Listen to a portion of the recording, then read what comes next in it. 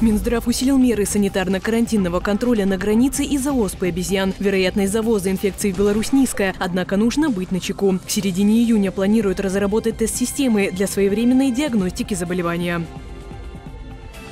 В Беларуси заработало новое приложение для проверки чека по QR-коду. Оно поможет узнать, поступил ли квиток в налоговую и легально ли работает продавец. Если покупателю не выдали чек, можно отправить жалобу прямо через программу.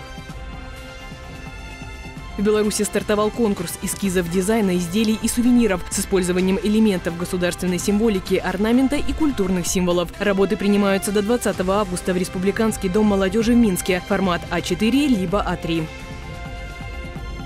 В Бобруйске украли велосипед стоимостью 250 рублей. Воры перерезали трос замка и увели байк посреди ночи. Несколькими днями ранее в соседнем доме таким же образом пострадали двое местных жителей.